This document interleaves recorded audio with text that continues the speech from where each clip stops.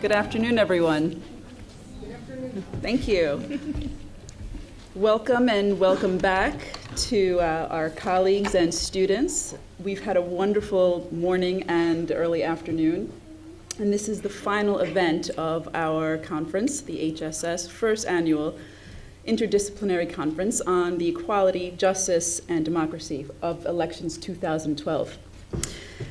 Before I proceed to introduce our first panelist, uh, Christine, Dr. Christine Kelly has threatened me if I don't announce that there will be pizza for all of you at the Cheng Library Auditorium for the third and final debate on Monday night, 8:30 to 10 p.m. So go hang out uh, listen to the debates with this newfound knowledge and perspective that you will undoubtedly get here. Our first speaker today is Dr. Dorian T. Warren. He is Associate Professor in the Department of Political Science, the School of International and Public Affairs, and the Institute of Research in African American Studies at Columbia University. He's also a fellow at the Roosevelt Institute, and he specializes in the study of inequality and American politics. He's a native of Chicago with a PhD from Yale. He's worked with several national and local organizations, including the Leadership Conference on Civil and Human Rights, the American Rights at Work, Jobs with Justice, the AFL CIO, Unite Here, and the NGLTF Policy Institute. He currently serves on the boards of the Applied Research Center, the Center for Community Change, Align, the Model Alliance, and the Discount Foundation, and he's appeared on several TV and radio programs commentating on public affairs. So uh, please give a warm welcome to Dr. Dorian T. Warren. Good afternoon. We can try that again. Good afternoon.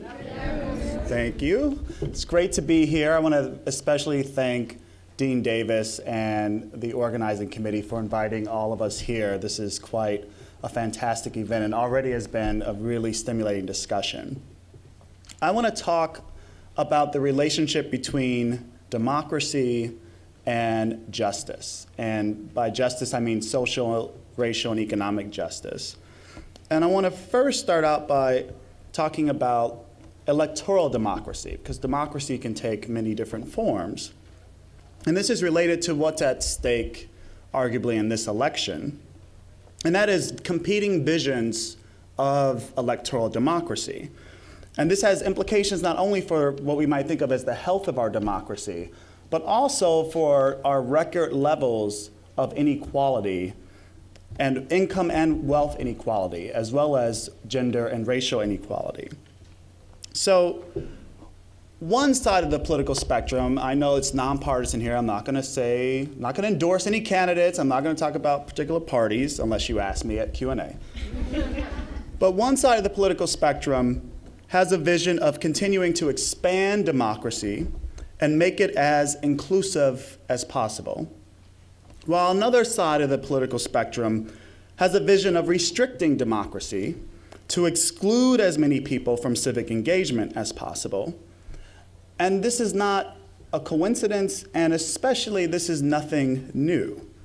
Historically, since the advent of electoral democracy, elites have always sought to limit the ability of poor and disadvantaged populations' right to vote. Always. This is, again, not a new thing. For over 80% of American history, most people in the world were legally ineligible to become American citizens. So for the vast majority of our history, most people in the world were ineligible to become American citizens explicitly by law because of their race, nationality, or gender. And for more than two thirds of US history, the majority of the domestic adult population was ineligible for full citizenship, also because of race, nationality, or gender. Now, every time we've expanded the electorate, and expanded the franchise, there's been a backlash against fuller inclusion. And new mechanisms are often created to, and invented to suppress the vote.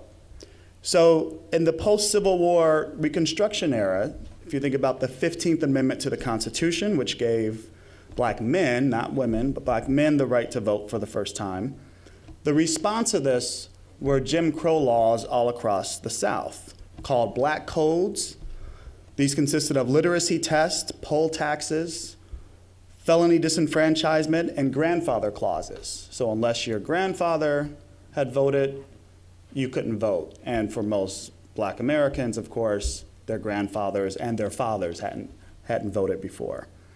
And of course, when these legal mechanisms didn't work, there was always vigilante violence to prevent, to prevent black Americans in particular from ex exercising their right to vote. So currently, we have a new wave of voter suppression laws. And we're having a, a debate about this in this country. And my interpretation is that these voter suppression laws are in response to the expansion of the electorate after what we might call the second Reconstruction of the civil rights movement, of the women's movement, of the range of the expansion of our democracy from the 60s and 70s social movements. These current laws, mostly they're, they're voter ID laws, but there are uh, other aspects of these laws that are important. It's not just about voter ID, it's about ending early voting, it's about ending same day registration, it's about trying to create as many obstacles for people to vote as possible instead of trying to expand the electorate and allowing people to vote in the easiest sense or in the easiest way. Just so you know, in terms of voting fraud, this is the argument often given for this new wave, this, the new wave of these laws. You're more likely to be struck by lightning than you are to find a case of voting fraud in this country. It's not an issue. Yet we have 33 states that have passed in the last four to five years some kind of voting suppression law. Now, I tend to think that these laws update the 18th, 19th, and 20th century mechanisms of exclusion with newer 21st century strategies of vote suppression. Now, again, I want to emphasize this is nothing new. Partisans are always battling over the rules of the game to give them an advantage in political contest. So, if you can't win an election outright, then you just try to rig the game. You try to rig the rules in your favor. Not only, by the way, are there these voter suppression laws on the books, there are efforts to monitor the polls, often called poll watching. And this is a, essentially a form of voter intimidation.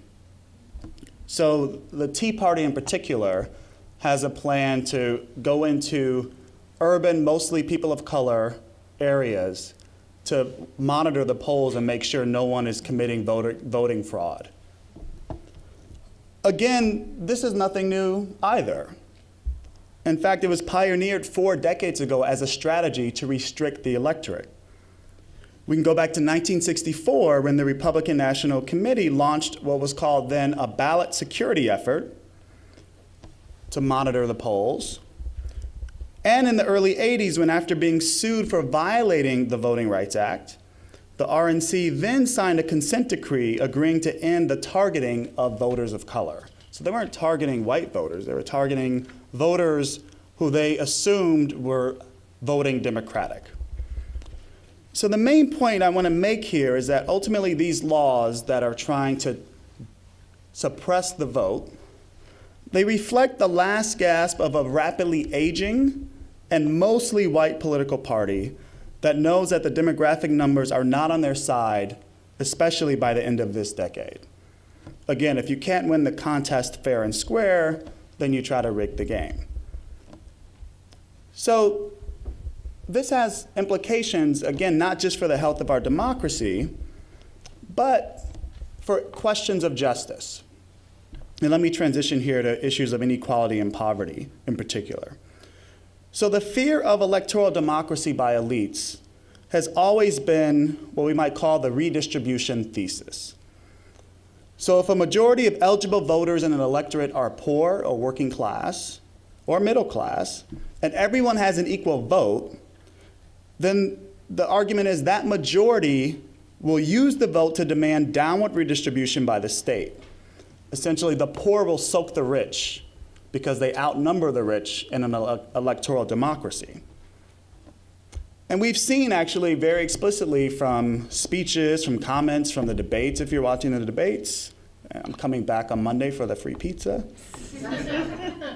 But if you pay attention to both candidates' views, especially on inequality and redistribution, you'll see a difference in terms of what one candidate wants to do is redistribute wealth and income upward, and another wants to redistribute wealth and income downward. Some would call this socialism. We can have that discussion.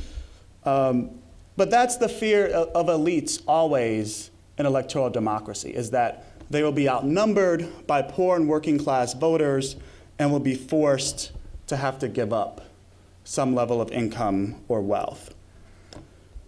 Now, why does this matter, especially at this moment?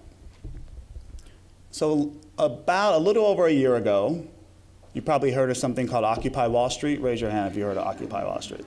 Okay, and what was the what, what do you what was the main meme from Occupy Wall Street? We are the 99%, the 1% versus the 99%.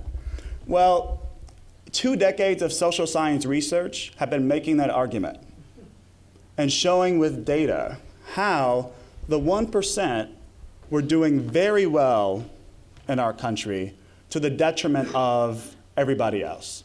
So let me give you some numbers. From 1945 to roughly the mid 70s, everybody, our country grew, we had lots of economic growth, and wages for the average family grew about 75% over that time. So we had increasing productivity, workers were being more productive, we were, we were, we were prosperous, and wages grew about 75%. From the mid 70s to about 2008, wages grew 4%. That's much less than inflation. So for most American workers, wages have been stagnant the last 30 or 40 years. Yet for the top 1%, they're, they're doing really well. And in fact, they take home about a quarter of the nation's income, which is a record only surpassed by what the 1% was taking home in 1928, right before the Great Depression.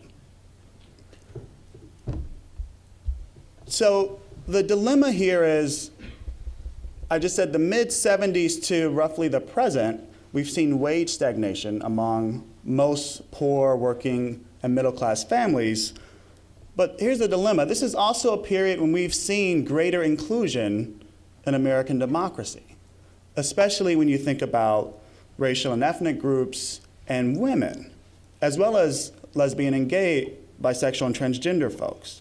So, on social issues, we've seen greater inclusion, greater equality among these different groups, while we've seen greater economic inequality among everybody, essentially. And the question is, well, what do we do about it? And what does electoral democracy have to do with ending the rising inequality and advancing a vision of justice? So I'm going to come back to that question towards the end. Let me give you just a few more examples of our what I would call our broken economy, and then I'll come back to what do we do now. So last year, the Department of Labor recovered $244 million in lost wages for workers, meaning employers did not pay their workers the minimum wage or overtime under the law. And so the Department of Labor had to sue the employers to win back wages. We call this wage theft. When people work, but they don't get paid what they're promised to get paid. A decade ago, there were about 2,000 of these 2,000 suits around wage theft. Last year, there were 7,000. So this is a growing phenomenon of workers just being cheated by their employers, essentially, by the 1%. Like I said, the 1% is doing very well. Partly it's because of wage theft, not paying people for the hours they work. But also, we're in a context of a declining labor movement. In the mid 50s, about one in three workers was, were members of a union. Today, it's less than one in 10 in the private sector. So we had about 33% union membership in the mid 50s. Now we're down to less than 12%. And, and this has implications. Raise your hand, actually, I'm curious if you have a family member who's a member of a union. A few of you. So this, this has implications also for inequality and economic justice. And I want you to think of it this way. What if we didn't have a, what if we didn't have a labor movement in this country? What if unions all went away tomorrow? What would the workplace look like? What would inequality look like? What would our democracy look like? If you're a member of a union, you're much more likely to vote and participate in politics. If you're a member of a union and you're a woman, the wage gap between men and women is much less. Or if you're black or Latino, the wage gap between you and whites are much less. So unions not only offer a premium when it comes to wages and benefits, but also a political premium because they mobilize their members to get out to vote. So we see wage stagnation for 40 years, a declining labor movement, this new phenomenon that I mentioned called wage theft. And the question is oh, I, I forgot to mention unemployment, right? The overall unemployment rate, the good news is that it was 7.8%. But in lots of major cities, and especially for blacks and Latinos, unemployment is at depression era levels. If you look at Detroit, for instance, unemployment is over 20% for black folks in Detroit. So unemployment's a huge problem. We have a, an issue around job creation in terms of not only getting people employed, but one out of every three jobs is a low wage job. And then if you can get one of those jobs, you have to deal with this problem of wage theft. It's likely a non-union job. So these are all issues, broadly speaking, related to the question of economic justice. And the question here is, well, what's the relationship of electoral democracy to economic justice?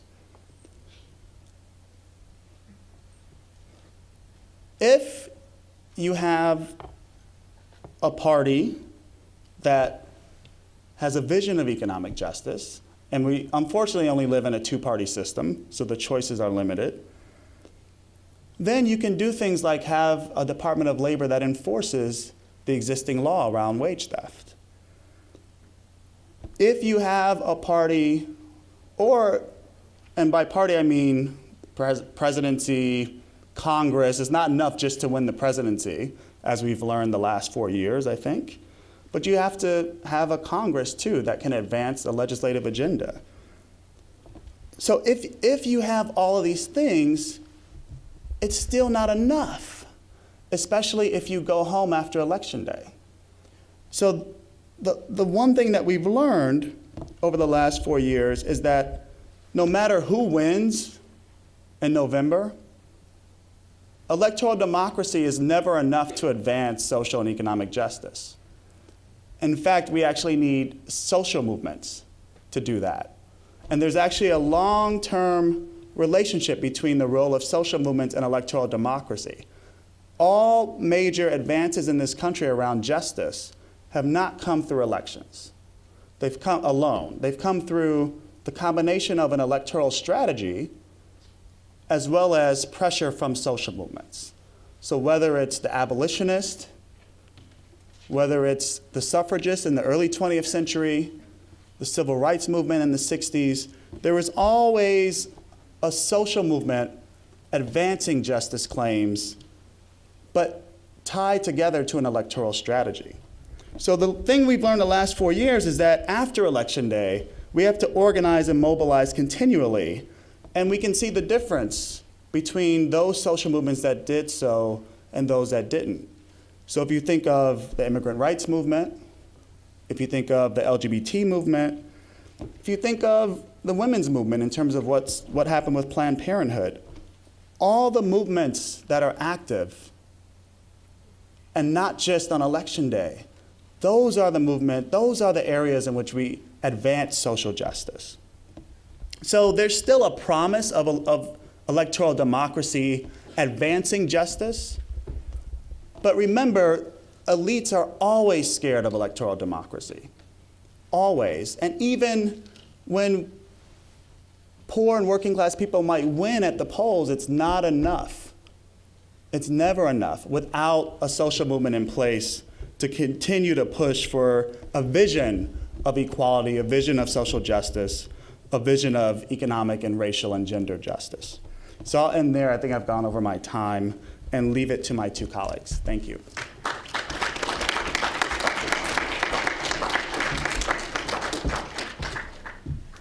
Thank you so much, Dr. Warren. Our next speaker, uh, the esteemed Howard McGary, professor of philosophy at Rutgers University with a PhD from the University of Minnesota. His research is just as timely as our other two panelists, focusing on collective responsibility, compensatory justice, distributive justice, justice and the distribution of health care, political liberalism, race and racism, and the virtues, especially forgiveness, which I hope you could teach us something about. uh, his books include most uh, recently in 2012, The Post Racial Ideal, uh, and as well as Race and Social Justice and Between Slavery and Freedom Philosophy and American Slavery. Please welcome Dr. Howard McGary.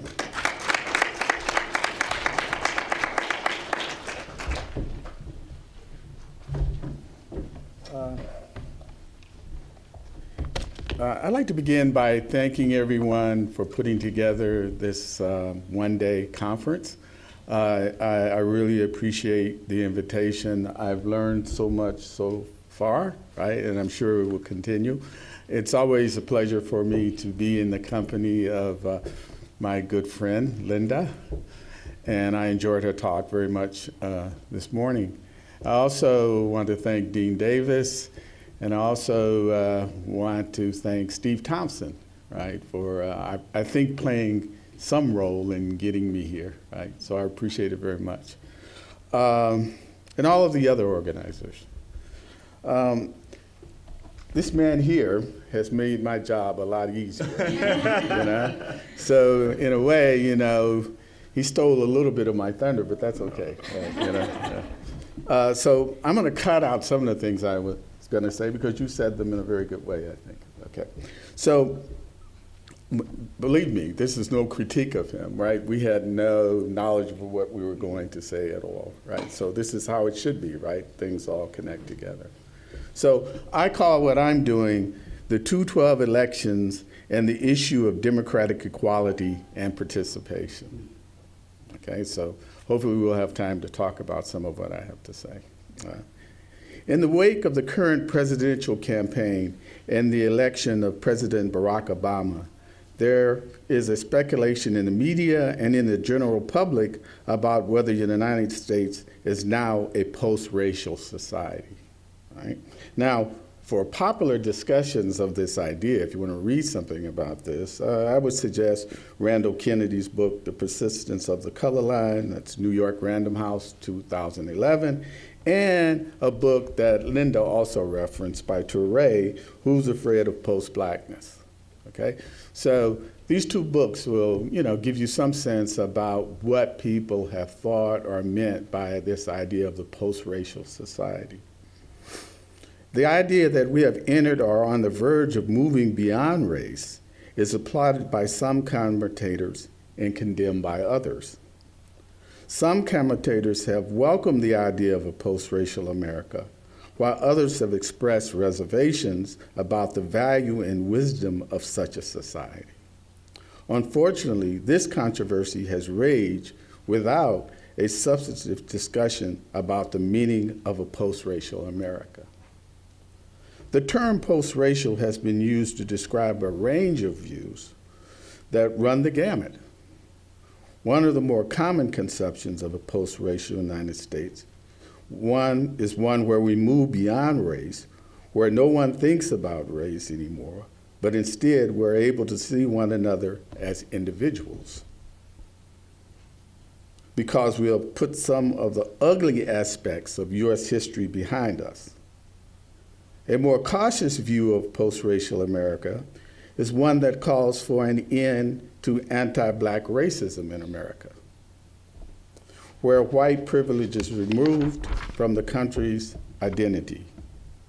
Here, we have two different conceptions of what it means to usher in a post racial America. The first account of post racial America proceeds on the assumption that thinking about race means that we cannot respect others as individuals. The idea is that race thinking prevents us from interacting with others as individuals. racism is so embedded in our racial thinking, we can't deconstruct it. The view also assumes that because races are not natural kinds, we can't, in good faith, talk about races. Race theorists, like the philosopher Anthony Appiah, have held a version of this position. This conception relies on a fairly commonly held view of racial ontology. This conception relies uh, one, one that questions the metaphysical reality of race and thus concludes that races cannot have a moral or social reality if they don't exist on an ontological level. However, even if races cannot be aptly described as natural kinds, there may be good reasons for thinking they are social kinds.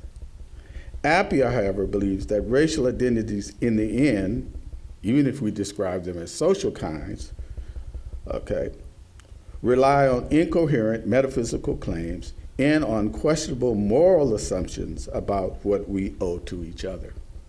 He even goes so far as to recommend that the liberal state engage in soul making. By soul making, he means giving the state the authority to sustain, reshape, and even create the social identities of its citizens. He argues that giving the state this authority will increase the chances of citizens living ethically successful lives. The view also assumes that eliminating race is necessary for escaping our awful racial history. This assumption is thought to be parasitic on the first. The idea is that racism has so been such an integral part of the makeup of this country that the only way to overcome these damaging effects is to completely get rid of uh, racial identities. However, you, as you can imagine, critics question whether addressing our racial past and present require us to abandon racial identities altogether. They believe it may only require us to rethink, to think about our racial identities in very different ways. The second way of understanding the post racial ideal does not require the elimination of the idea of race. Instead, it points to the horrendous effects of things like anti black racism and argues that our goal should be, be to eliminate racism in its overt and subtle forms. And by doing so, we can preserve the benign racial identities. On this view, it is unnecessary to throw the baby out with the bathwater. Since my focus, okay, in this session is on the democratic process, I wish to explore this process in the wake of the alleged post racial ideal. What does it mean? Does it invalidate the explicit use of racial groups in the political process? What would it mean? Does it call for universal citizenship defined as what individuals have in common rather than their difference? Inequality is defined as, on this reading, blindness to individual and group differences. However, this way of understanding the political process is described as oppressive, especially by uh, the philosopher, political scientist Iris Young. She contends that we must recognize special groups if uh, special group rights if we are to effectively combat disadvantage and oppression. On the other hand, her critics reject racial coalitions in politics in favor of colorblind universalism. However, Young sticks to her guns and rejects this false universalism. But she recognizes that simply acknowledging group rights won't be enough to eliminate disadvantage and oppression without greater participation by the disadvantaged groups. If Young is right about this, it is imperative for the just society to do those things that encourages voter participation. In the 212 elections, politicians and political commentators often operate with one of the above assumptions about what it means to be post-racial. The idea of equality is a cornerstone of a democratic form of government. However, historically, scholars have recognized a tension between democracy and equality. Critics of democracy and even some of its supporters have argued that the masses are often ill suited to making political decisions that are good for the nation state. However, the claim that all citizens should have a say in electing leaders has not gone unchallenged. We have clear instances where citizens who are members of certain groups have been denied participation. And sometimes this denial has been overt, but it has often been covert. For example, using literacy tests to decide who may participate. This is why critics, like Booker T. Washington, the famous inventor and educator, challenge using a lack of education as a bar to participation. Other criteria like income levels and poverty and property ownership have been rejected as bars to participation. And a primary reason why we are skeptical about a barring adult citizens' participation is that we are not willing to give authority to just any particular citizen.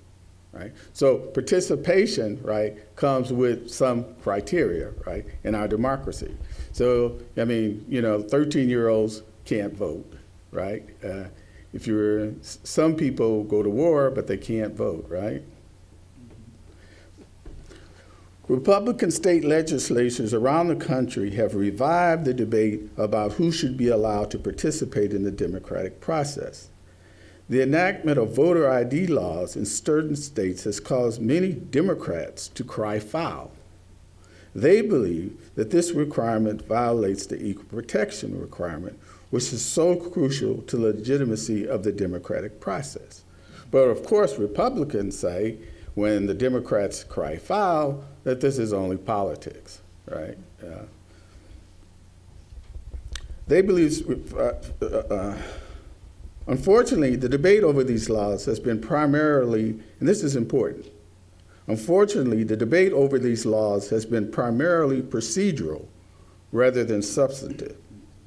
By this I mean the commentators have accepted the moral and legal legitimacy of requiring voter IDs and then place their focus on whether the state can fairly and reasonably adopt procedures to allow citizens to obtain IDs.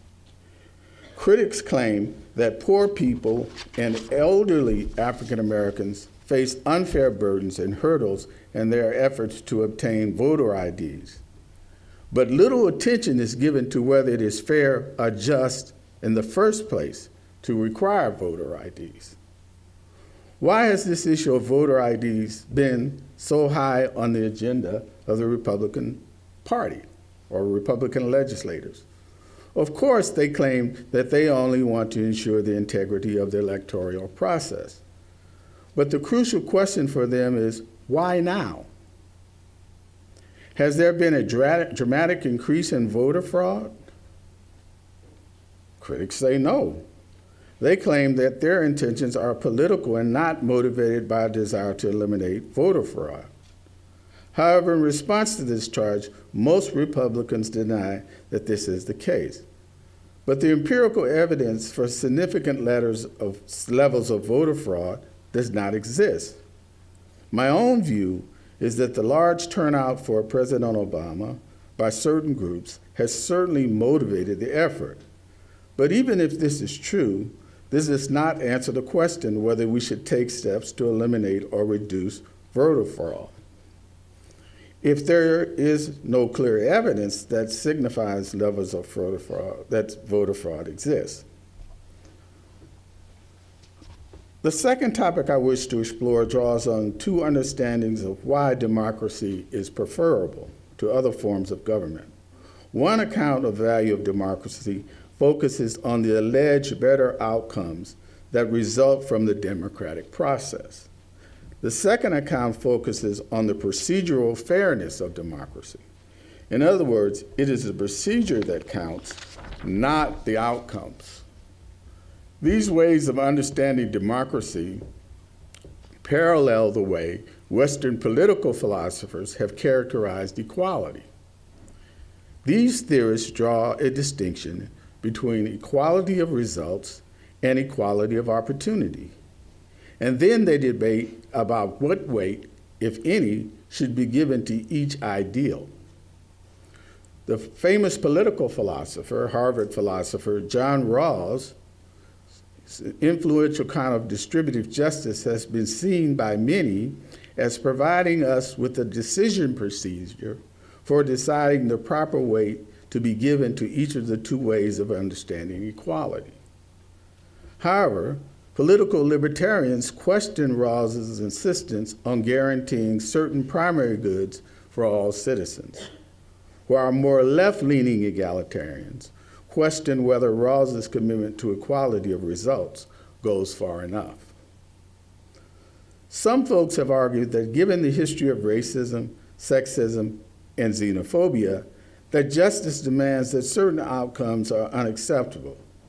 For example, cases where racial minorities and women stand for election, but none or very few of them are ever elected to political office.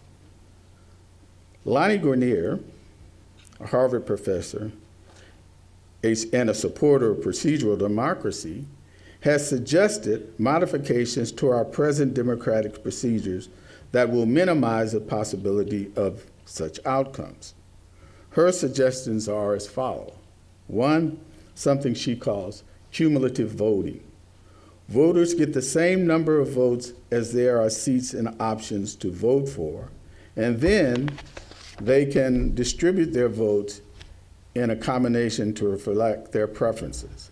And the idea here is this. It's like, uh, say, for example, if you are a black, uh, say you're a green student in an all yellow school, right? And you're going to have a prom, you want to decide what music is going to be played at the prom, right? So each, you get a vote. We have the one person, one vote rule, right?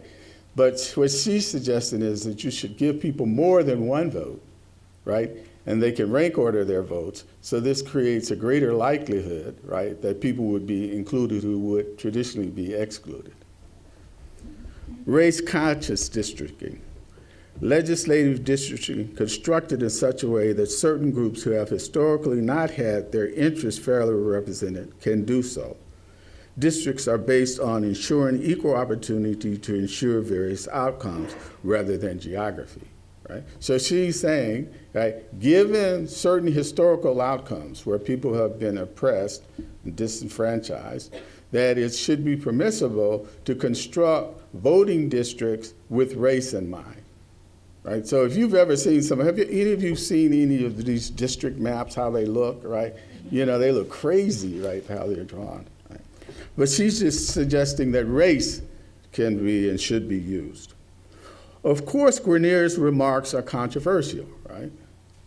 I present them here only to demonstrate one account of how to achieve equal opportunity when it comes to voting procedures.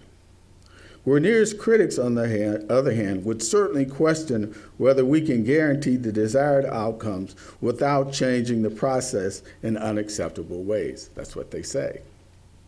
They believe tinkering with requirements like one person, one vote rule, that doing so will create a class of political experts that know in advance the will of the majority or which outcome is preferable.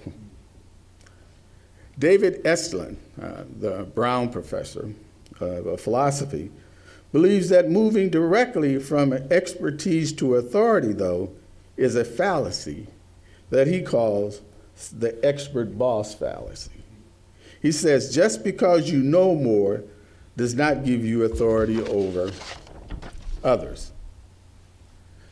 Their consent to your authority is required for the imposition of your expert proposal to be accepted as legitimate. Right? So even if you are an expert, and if you grant that you're an expert, your consent is still required, right, for legitimacy. Because I question the idea that the judgment of the so called political experts should be substituted for the will of the people, I want the power to remain in the hands of the people, but fairly defined. No other decision procedure should be substituted for de the democratic will of the people, even if, from a God's eye point of view, the procedure was better at locating the truth. Our reason for preferring a properly defined democracy is moral rather than epistemological. Democracy, properly constituted, gives each citizen a fair chance to influence the outcomes. It does not guarantee that the process, or should it guarantee that the process will always or even typically lead to the best decision. And in order to do this, I think the most direct road to that is greater participation, right, rather than less. Thank you.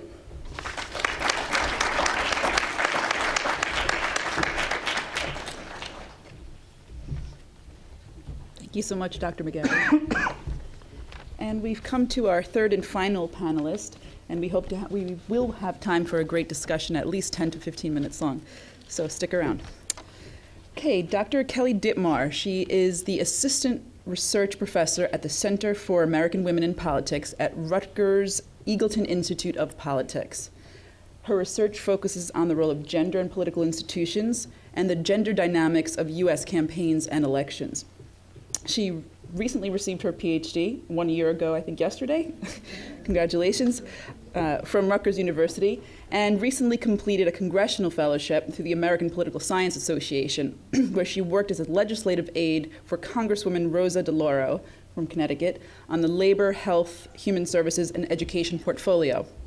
Uh, Dittmar, Dr. Dittmar's also previously worked for Governor Jennifer Granholm of Michigan, and she promises to enlighten us as well. Please warmly welcome her.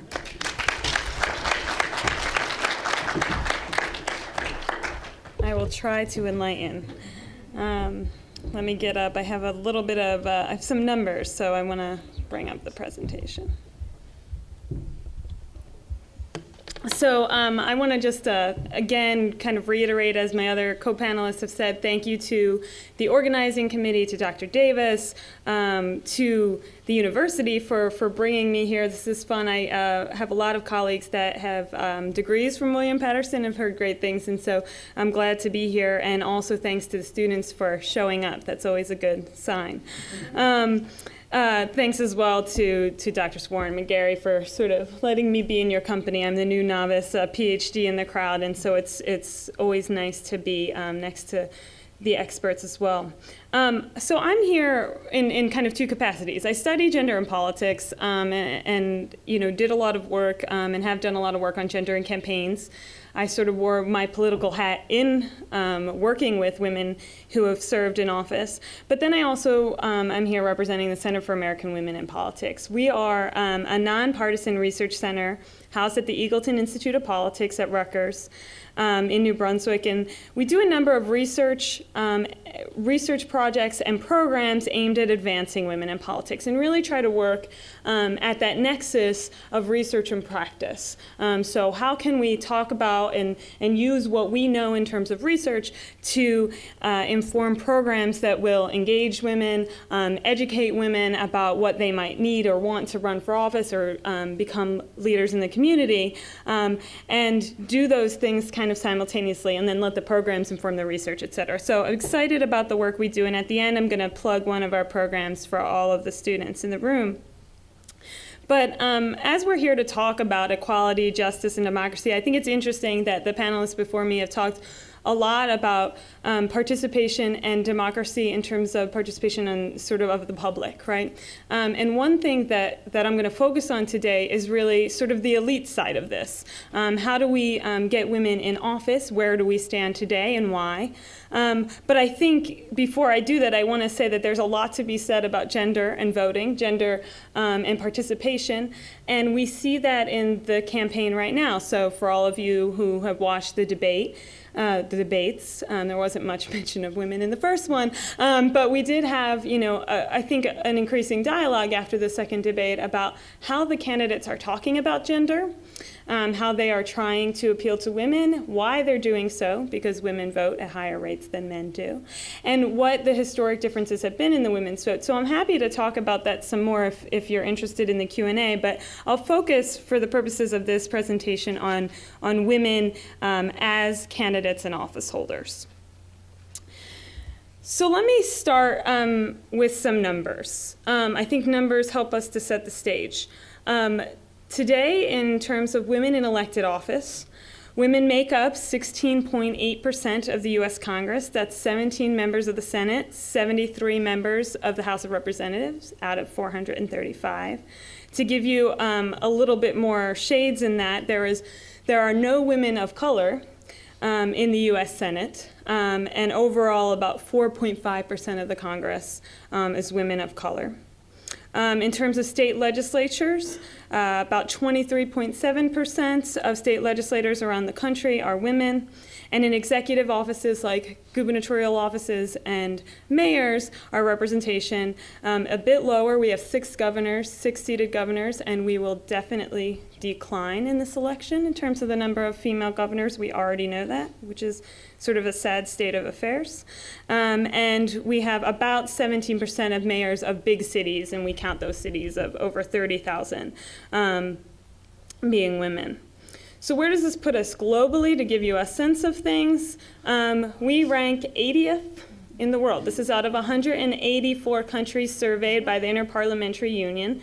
Um, what this measures, just to give you sort of a good sense of, of what we're looking at, is this is the lower um, house of the national parliament. So in our system, it's the House of Representatives. So our number that we put into this is 16.8%. That's 80th. We actually have 96 countries that are ranked ahead of us when you count for ties and things like that. Um, so we're not, we're about in the 50th percentile. So you know, barring some of our cheers of like America being number one, um, we've got a ways to go, at least in this regard, and I would argue in others, and largely because they're tied to, I think, representation. Um, again, just another visual representation. When you look at the percentage of women in Congress since 1971, which is when the Center for American Women in Politics sort of began, and we began keeping all of these numbers, um, we see sort of some gradual increases not as fast as we would need to reach any sense of parity, which would be 50% or a little more since we represent over 50% of the population. Um, and even after this jump in 1992, which you can see very clearly if you look at the blue line, which is the House of Representatives, um, we see that jump. We had 24 new women elected um, in 1992, and I'm going to talk a little bit about the comparison of that year, why that happened, and what we're looking at in 2012. Um, but you see that jump, and then you see sort of gradual, but really what we have, have talked about in literature and at the center as a really sort of flatlining or plateau of women in office. And actually in 2010, we saw the first decline. Um, in women in office, both at the congressional level and at the state legislative level that we had seen in, in over 30 years. Um, so, why is that? Um, what is happening to why aren't we seeing greater participation of women? Um, I think, you know, as Dr. Warren talked about, about the sort of greater inclusion movements, participation, why are we not seeing that translate necessarily um, into women in elected office? Um, and so we have some, some theories about that and some things we could possibly do. Um, again, when you look at the percentage of the women in state legislatures, you see that flatlining, I think, even more clearly. Um, you see a sort of rise, then 1992 comes, we see this sort of peak, and then we flatlined again in terms of the percentage of women in office. Um, I want to talk a little bit before I move on to this election about that historic comparison with 1992, just to give you a sense. Um, so, how many of you in the room, I asked this question to a group this morning, are sort of familiar with the phrase Year of the Woman in 1992? All right, educating. Um, so, so 1992, in 1992, we saw a number of factors sort of in the political climate that you could sort of argue were good for women in terms of opening, um, opening up some opportunities, but also engaging women in the political process. Um, there were sort of four pieces of that that I want to mention. Uh, one, uh, tied, two things sort of tied together that every 10 years we have a census.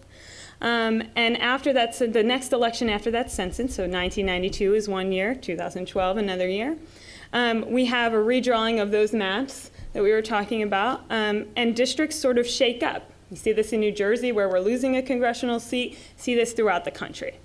What happens is those sorts of, that sort of shakeup creates opportunities, creates opportunities for people that may be newcomers to the political system. So they may not be ingrained in uh, a party system. Um, they may have been just waiting and biding their time until the opportunity arises.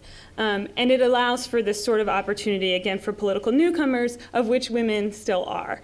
Um, in addition to that sort of shakeup. We also saw additional open seats in 1992 due to some scandals at the congressional level in particular, um, where men, uh, some men were sort of pushed out of their seats, and stereotypically, um, voters tend to see women as more honest.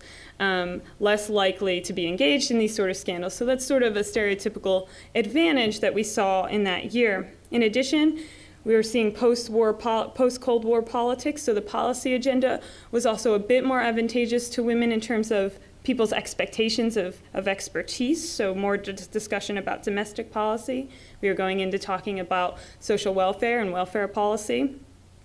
Um, and finally, and I think um, probably the most um, visual and sort of guttural response um, was that there was a, a, number of hearings for Supreme Court Justice Clarence Thomas's confirmation hearings, um, where women were watching TV, and they were watching as Anita Hill, an African American young woman, spoke about Clarence Thomas and talked about sexual harassment, that she had been harassed by this um, Supreme Court nominee. She was speaking in front of an all white, all male uh, panel of senators. And that, that literal, you know, uh, image of no women, no persons of color, and this, this woman speaking to this group, and really a sense that she wasn't being taken seriously due to the lines of questioning, um, really, really sort of enraged, um, but also inspired women to get involved in that electoral year. What we saw is women filing in much greater numbers. They won those, um, won in many of those situations in their primaries, and were able to increase their numbers in office. Um, again, we had 24 new women in 1992. However, we still only had uh, representation 10% um, of women in Congress after 1992. So we call it the Year of the Woman because we saw this huge increase. Sadly, the increase was only up to 10%. So our victories are sort of short and small lived. Um, and, and I think in 2012, we have to be careful of the same thing. So we have much of the same uh, uh, climate happening in terms of redistricting, open seats, um, and even the engagement of women. Uh, for those of you who might be familiar with the Sandra Fluke incident in Congress, um, where there was a panel of all men talking about contraception, there was similar sort of engagement and, and anger. Um, but what we what we think, and I'll get to the punchline when I go through some of the uh, numbers, is we may, in a if all planets align, get to 20 percent unlikely, but even if we did, um, that means over 20 years, um, we could have doubled our numbers of women in office. We're still one fifth, and we're probably not going to even get there. So I think all of this is to temper our expectations, but also temper um, our excitement to say we've got a lot to go. Um, I wanted to give you one other number, uh, just as a to give you a sense of sort of the, the progress over time. From the early 1970s through the late 1990s, the number and percentage of women in the state legislatures increased fivefold. So we went from 4.5% in 1971 to 22.4% in 1999. Currently, we're at 23.7%. So if you do the math, um, we've had a net increase of 1.3% in the last 13 years. So when we talk about flatlining, again, it's just yet another sort of representation of that. So where are we at in 2012? I talked about the context. Um, uh, in addition to the census year, um, both 1992 and 2012 are presidential years.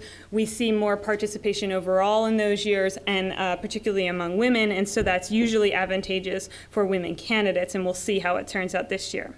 So what do we expect this year? So political scientists, despite our attempts to the contrary, are not always the best at forecasting elections. Uh, so let me preface it that way, but let me at least show you where we stand. Um, in the House, we have a record number of women filed for U.S. House seats this year.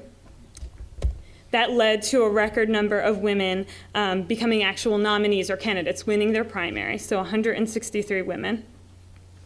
Of those, Um, 29 uh, are running for open seats, meaning they have a better chance, right? It's hard to run against somebody who's won for a long time.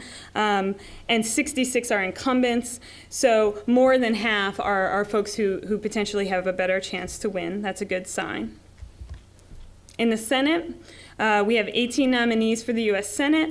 Um, again, another record um, in 2012 for women, and the likelihood of getting uh, up to 20 women in the Senate is actually a real possibility um, if some of these races break. So you've probably heard about Elizabeth Warren in a competitive race in Massachusetts, um, uh, Heidi Heitkamp, um, Linda McMahon potentially in Connecticut, although I think it, I don't think that break might be breaking the other way, but we'll see. And then in Hawaii, um, we have a woman-woman race. Linda Lingle running against Mazie Hirono, um, so we're guaranteed um, a woman senator either way in that race.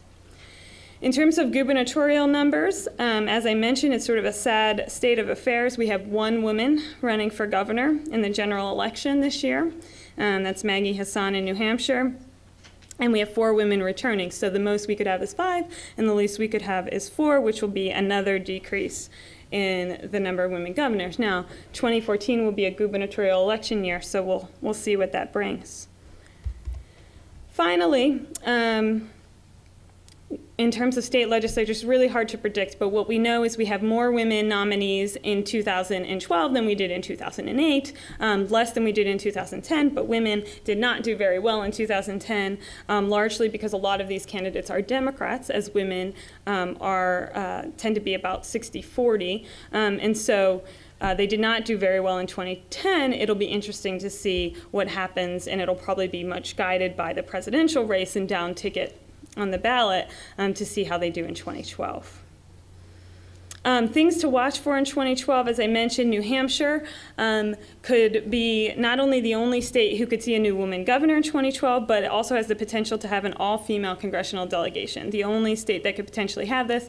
Again, we're not sure that this is a very likely possibility, but they do have two women sitting senators. They have two House seats, of which there are women running for both um, and they have uh, a woman running for governor. Um, that would be unprecedented um, in, in terms of women's representation. And, and then I mentioned already the women-women Senate race in Hawaii. Um, again, I don't want to give too many estimates on the numbers. I would say to, to, to sort of keep your eye on this. It'd be interesting to see um, our, our wishful thinking would be 20%. Um, our thoughts are that we may get up to 18% from 17% um, and see some increase of women in office. Um, and again, at the state legislative level, much harder to tell, but again, we hope to get back up to, we were at 24.5% before the last election, and maybe we can make up some ground. All right. So, why do the numbers matter? We go through a lot of numbers. Um, I like to preface sort of a lot of talks with sort of where we're at because I think a lot of times people are unaware that we're so low in terms of globally and, and in the country in terms of the representation of women. Um, but it's not just about, I think, counting beans, right? We don't just talk about um, numbers um, because numbers in and of themselves matter, but they are representative of some of the things we're talking about today. Okay. Um, and so uh, want to talk about why it matters, and that's because we know that women make a difference in office. And we do a lot of research on this, and I want to talk about sort of three quick ways and how, how they matter. One, we know that women make a difference in the policies that are passed. This is the substantive representation that bring, women bring to office. Um, our research shows that women represent women's interests, champion women's issues, and are more often likely to work across the aisle with other women and, and men on the other side. Um, most striking um, in some of our research, and this was true, this has been true for decades, is that Republican women are actually more likely than Democratic men to have worked on legislation that is uh, helping women, or in their minds, in their, their perspective, this is a survey of women voters to help women. Um, both men and women legislators report that female legislators feel a sense of responsibility to women and affect the extent to which legislators consider how legislation affects women, and also the type of legislation that is passed um, and proposed. So there are a lot of number of ways in which women substantively influence uh, policies in government. We also know that they influence the process in terms of bipartisanship.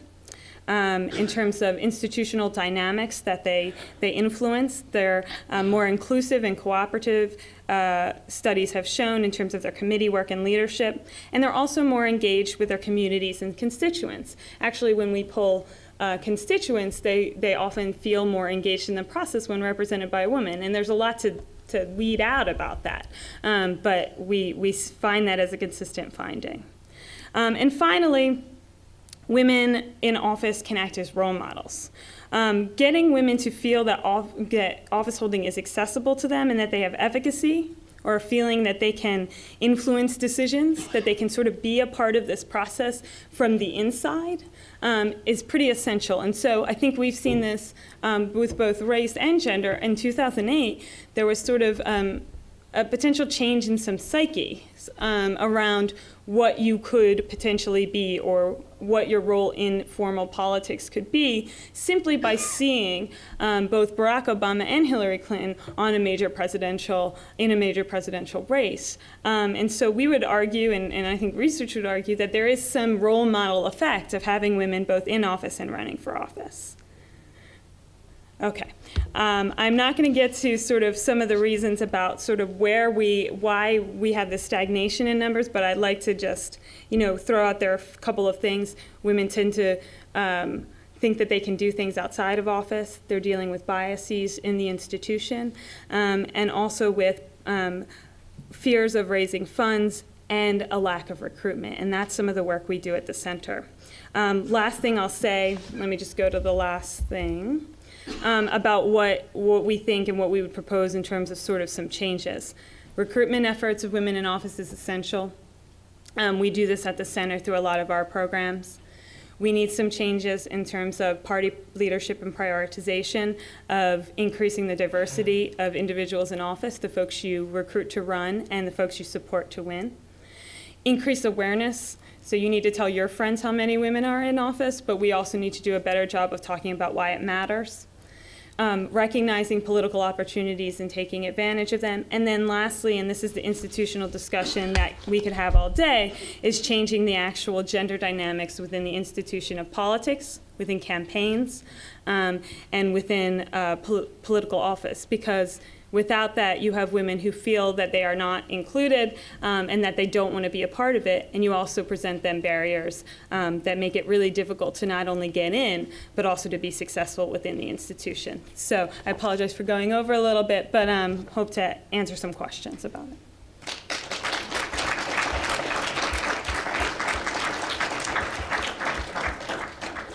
Uh, students, I promise that we will have you out of here free as birds at 3:14. But if you could just, we, we would like to have listen and learn a bit more, and an opportunity for you guys to all ask questions. So 3:14, you will be set free. Okay. Um, so, would anyone like to have a question for any of the panelists or all three together? As you saw, uh, their all their talks were very well integrated because of the great planning of the committee, as well as um, resonated with earlier talks of Dr. Alcoff, um, Janine Fris- Frisby LaRue, as well as Dr. Kelly.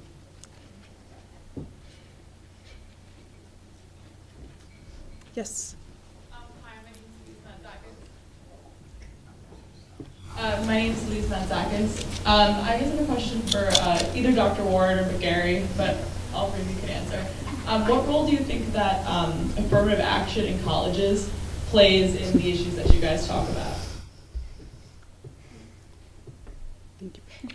Uh, well, if I, I, think an important thing about participation uh, in, in the political process is having qualified people, right? Having trained people. So to the extent that affirmative action helps to achieve that, then uh, I think that would be a good thing. Um, just a, a, couple thoughts on, on this. One, in terms of what we know of the last, say, 40 years of affirmative action, one is it's benefited women much more than racial minorities, especially in the workplace. Um, but second, what we've been seeing um, the last I'd say 20 years, and I see this especially um, at Columbia where I teach, is we get a lot of racial minorities as students, we get a lot of black and Latino students, but not working class or middle class black and Latino students. These are students that have gone to prep schools, they're not first generation college students, they're just as prepared and, and have all the extra benefits and advantages as many of their white peers because of their income and wealth backgrounds. So where affirmative action has benefited, I'd say again more recently, has benefited black and Latino students, it's been wealthier ones. Um, but then, I, you know, there's a current Supreme Court case that was argued just two weeks ago, which I'm convinced it's going to end affirmative action in higher education.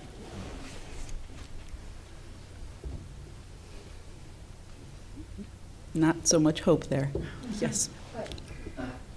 Hi, my name is Sue Bedell. I'm an adjunct professor here, and I just wanted to piggyback on the affirmative action uh, because my question is about the Supreme Court and their um, uh, their potential ruling on affirmative action, um, and also their um, probable upcoming case of about same-sex marriage, and the fact that um, the next president will probably be able to name up to four Supreme Court justices because four of them are over 70. And I'd like to, uh, you know, that scares the heck out of me um, because I, you know, it could be really bad if it goes to the person who I don't want to win.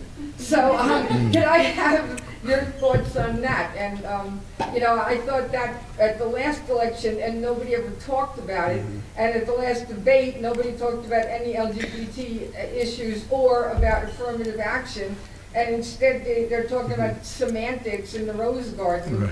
Um, could you And, and oh, binders of women, too. Right. Yes, also, and Mitt Romney did not get, ha- have those binders. A group of women approached him with them and asked him to, um, you know, to please put some women in office. And by the end of his term, he had let go most of them. So- Uh, Dr. Warren, Dr. McGary, before you proceed, I don't want you to think our students are so rude, but perhaps that we can all let them applaud for you, and then we can extend our discussion and have this little mass exodus for the students that are going to class. So, students, please, a warm uh, round of applause for our three panelists. And, and if you need to go, perhaps we can give you guys a minute to shuffle out, and then our panelists can continue uh, answering questions for a few more minutes.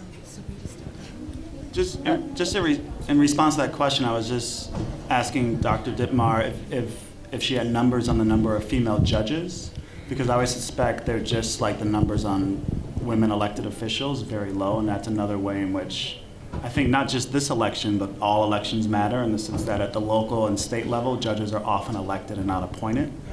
Um, and obviously, there's a question of substantive representation in terms of what women bring to to the court that's different from what men bring in terms of a perspective or a view um, that's that goes beyond what we would call descriptive representation. And there's no doubt that in that case, we've had, you know, pretty blatant statements from both um, Ruth Bader Ginsburg um, uh, and, and actually our most recent sort of female justices talking about the influence of their gender sort of freely and their race um, and, and people critiquing them for that, which is interesting with the court, something we always sort of have to weed out with students and sort of understanding is this a representative position? Um, in nature or by its nature um, they represent the constitution not their gender but i think they do a good job of parsing out how that could influence um, how they read um, and, and talk about a case. And there's some good good examples which may speak a little bit to to even to both the affirmative action and lgbt case uh, same-sex marriage cases that could come up. Also, I think to your question about uh, what the candidates are discussing, you know, we're not powerless in helping them to put issues on the agenda.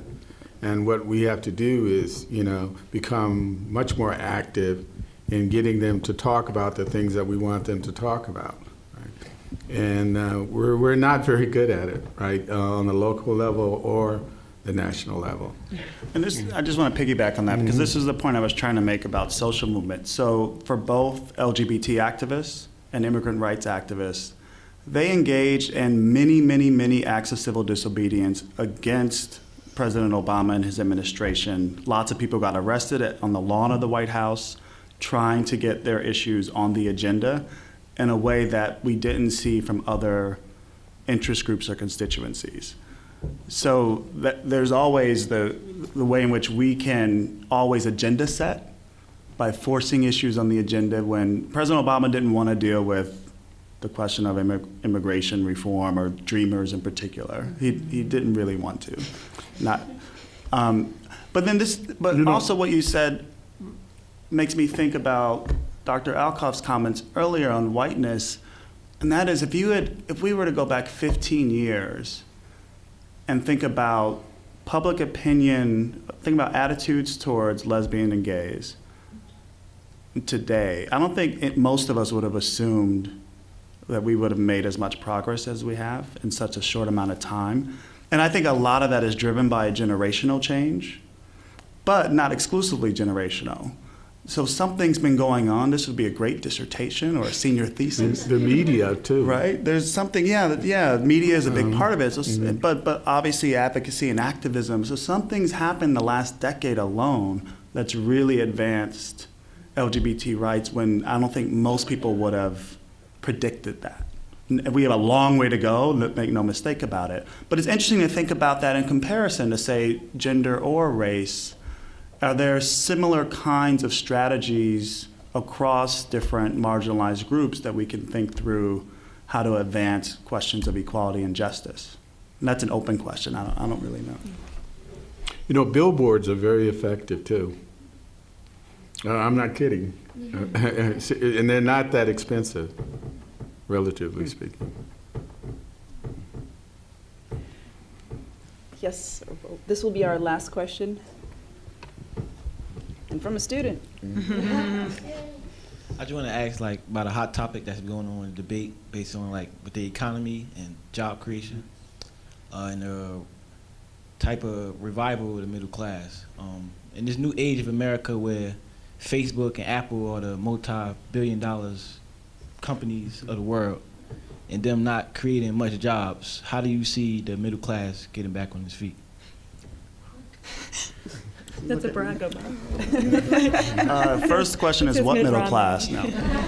um, this is a huge dilemma that all of us, and especially your your generation, is going to have to grapple with. And there are no easy answers. So I'll try and be as succinct as possible. The creation of the middle class of the 20th century essentially came from the New Deal.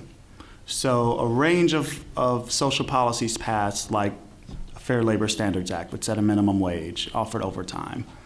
The Wagner Act, the National Labor Relations Act, which allowed workers the right to organize for the first time into unions. So legislation from the New Deal period, along with a growing labor movement of workers organizing into unions in manufacturing industries. That, that created, and rising education rates. If you think of the GI Bill for returning veterans after World War II who got to go to college, uh, mostly all first generation, and get a college education. So that was in the context of a closed economy, meaning we weren't engaged in international trade for the most part from 1945 to the mid 70s. So we had, we had a virtuous cycle.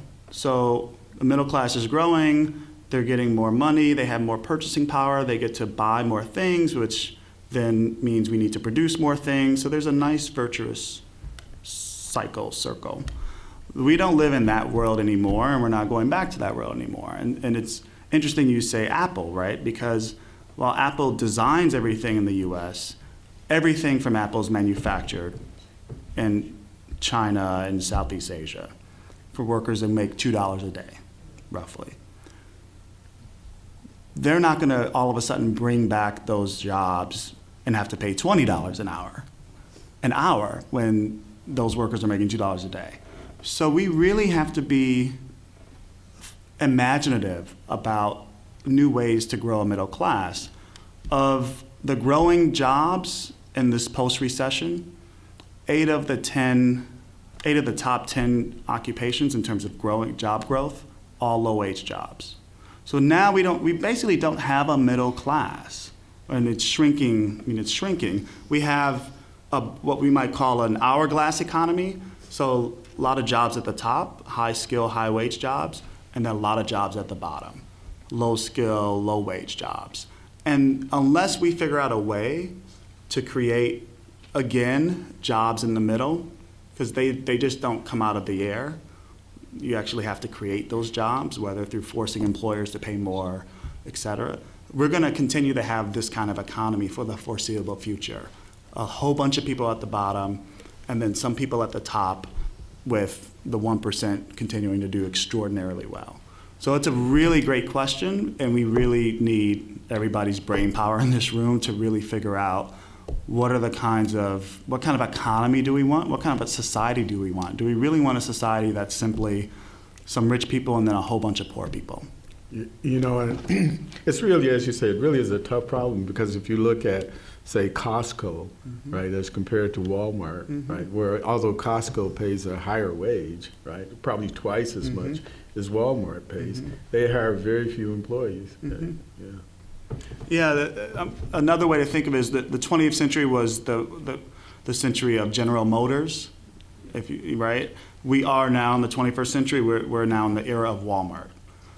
And not only is it a question of low wage jobs, but most of the 1 million employees at Walmart want to work full time and aren't allowed to because Walmart would have to pay for benefits, healthcare benefits, and pension benefits if they go over a certain amount of hours. So that's the new normal for us, and we really have to think through how to how to create something different, how to recreate a middle class. Yes, yes, yes. Uh, We're going to take one more question, but please excuse Dr. Warren, who has a train to catch, and you know they don't come very often to this neighborhood. Okay, uh, And we'd like to hear from you. Hi, thank you all for coming, and uh, hopefully you don't miss your train.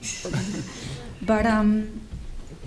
I just want to ask out of opinion, uh, I, I would like to know your opinion because I, I followed the, um, this campaign, this presidential campaign as much as I could. I've seen the debates, I do my readings uh, for both candidates, but I, I think a lot of um, students and a lot of voters share this. We're still undecided. Um, and I do believe in equality and justice regardless of partisanship. Um, and can you tell me what do you think, who do you think has the best interest in this campaign for us students and for us women? Be partisan, she's begging.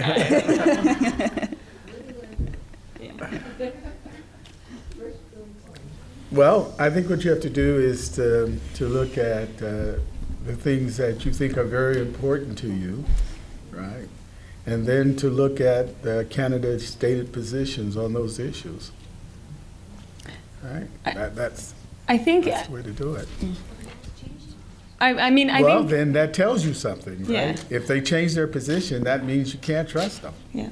I mean, I, I would say too, so yes, so not putting on my, a partisan hat, but at the same point, I think there is accountability to, for, for both candidates. It speaks a little bit to what you were saying about sort of asking the right questions and mm-hmm. pushing them on certain issues. I think it, you could argue wherever you stand in terms of at least in terms of women's issues and equality, um, that neither candidate has done an astoundingly good job um, at talking about women. Um, both of them have very much relied on their wives. Um, which is an interesting dynamic that we see. This is not new, um, but this is something that we see in campaigns over and over again because um, this sense that, you know, well, let me, M- Michelle knows what it's like to balance work and family. The president has said that. That's a bad line um, because he, right, he balances work and family too. Um, or, um, or, you know, Ann Romney, sort of, my wife um, raised my kids and knows how this works. So, you know, questions like that. I think pushing, um, it would be sort of pushing both of them now on, on talking more explicitly about the policies that are going to affect you as a woman, as a student, um, and seeing which person is offering both the legislative sort of policy agendas that would actually get move forward, um, move move us forward in those regard in the direction you'd like to see, but also their their their past and what they're saying they've done in the past, um, and that's something on, on both fronts um, where you know you can watch the debate and sort of hear what they say about what they've done, but you can also follow up um, and try to see what their record is, and I think when you do that, you, you do see a clearer record for both of them, on, on at least on gender issues. Um, and uh, I know somebody mentioned paycheck fairness and Lilly Ledbetter. That's one thing. Um, uh, I, I would argue on that front, the president hasn't spoken very well on, on paycheck fairness, right? He, he's talked a lot about the Ledbetter Act, but there's um, more to be done in terms of equal pay. And, and people need to sort of learn about that. What do we need to do? What do we need to press? Um, and then uh, on contraception and reproductive health, if that's something that's important to you, there's been a lot of back and forth and changing of positions. Um, again, president included last year, um, but it's it's important to look at, at, at, both records. So it's not an answer to say who to vote for, but it is an answer to say at least on those issues there are records to look at, and there are places to find them, and that may be helpful. Okay. Um, could I make a quick question? Yes. um, uh, what would be a quote that you will say to express your political view? It's easy. I come from a nonpartisan research center. so, so, I mean, I would say in terms of political strategy, it's to be engaged, maybe. I, am I'm not committed to any political party. Right? I, I like to think that I uh, try to decide who I'm going to vote for in terms of uh, what brings about uh, justice and fairness. And, and I'll say that often I've found that the, the Democratic Party has uh, done a better job, I think. But uh, I haven't always voted for, for Democrats. What about you? Um, See, it's tough. but it is a good question to think about, right? Um, to sort of think, and I think that speaks to your undecided question. Is sort of like, actually, there probably is. Mm-hmm. If you really sit down and look at an agenda of issues and positions and philosophies about equality, justice, democracy, these things we've been talking about, um, if you line them up with some sort of partisan precedent, there's going to be some leaning there's going to be a way that you lean. I think it's hard to be purely independent. Um, but it takes some work, takes some homework, um, and it, it, takes more than watching a debate or watching Fox or MSNBC, either one. Excellent. Can I just say one thing? I'm an independent. I just want everybody to know that. I vote for whoever's the best person. But I heard something coming here today that really scared me, and that was that they don't expect the youth of America to vote that much this year because they're so disillusioned by all of the flip-flops. And I just think that that's the most important thing, to get out and vote. So don't stay undecided. Decide. Decide.